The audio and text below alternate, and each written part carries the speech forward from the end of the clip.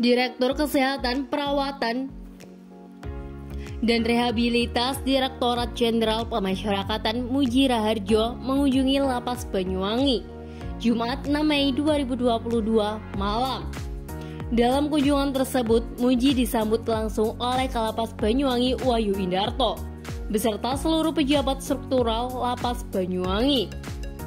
Muji yang sebelumnya telah melakukan kunjungan kerja di beberapa UPT pemasyarakatan di Jatim itu terlihat antusias meninjau beberapa fasilitas pelayanan di Lapas Banyuwangi.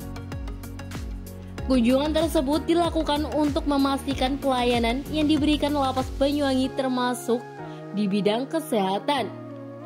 Perawatan dan rehab terhadap warga binaan telah berjalan sesuai standar yang telah ditetapkan.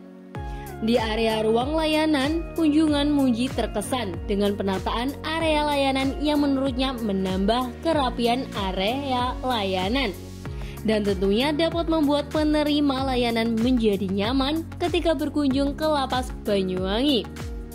Pada saat melakukan peninjauan di area klinik, Muji berharap petugas medis selalu memberikan layanan yang prima kepada warga binaan.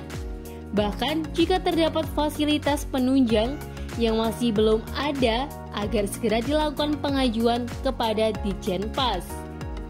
Muji pun bergeser melakukan peninjauan pada blok hunian. Ia juga tak canggung berdialog dengan beberapa warga binaan untuk memberikan semangat dan motivasi agar warga binaan menjalani kegiatan pembinaan dengan baik. Pria yang pernah menjabat sebagai Kadif Pemasyarakatan Banten tersebut mengakhiri kunjungannya di lapas Banyuwangi dengan meninjau area dapur.